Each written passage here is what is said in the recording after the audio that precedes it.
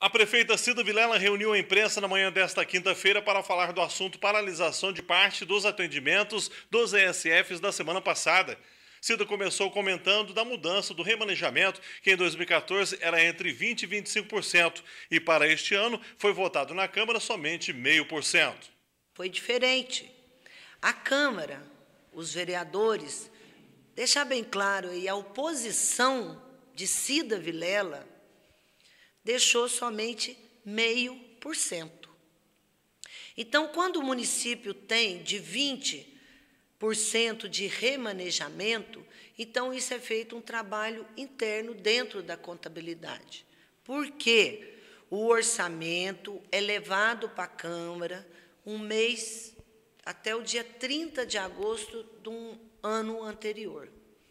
E a gente não sabe o que, que vai acontecer no ano né, que vai executar esse orçamento. Por isso que todas as câmaras, todos os municípios, em todas as cidades, dão um remanejamento de 20% para que esse orçamento, dentro da, da sua, dos seus departamentos, pode ser remanejado.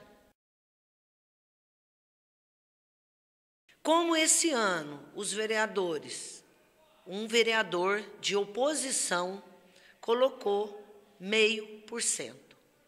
Se o município tem 25% ao ano, você divide isso aí por 12 meses, nós temos uma média de 2% de remanejamento por mês. Eles me deram 5%. Mentira, meio por cento. Então, isso aí não dá para gastar nenhum menos de um mês. E o orçamento ele começa a vigorar em janeiro, dia 1 de janeiro. Quer dizer, o meio meu, um meu meio por cento que eles me deram para fazer o remanejamento dentro dos departamentos já acabou há muito tempo. Então, tudo que precisar ser remanejado, que é o que a gente fala, suplementado, eu preciso da autorização da Câmara. Se os vereadores puseram lá que eu tenho meio por cento, me deram meio por cento, eles concordaram que eles vão trabalhar comigo fazendo reunião extraordinária direto.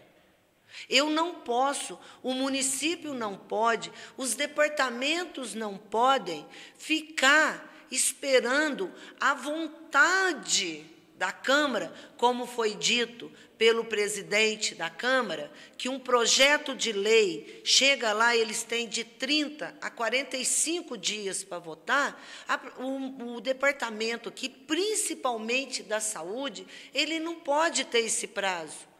Eu tenho as minhas leis a seguir. Eu tenho uma lei de responsabilidade fiscal, eu tenho o Tribunal de Contas, Entendeu? Que hoje nós estamos aí instalando, nós já estamos usando o novo sistema, tudo que é lançado dentro do sistema, imediatamente está na mão do Tribunal de Contas. Eu estava chegando em Belo Horizonte, que me deram a notícia que não tinha como comprar o material porque eu não tinha suplementação.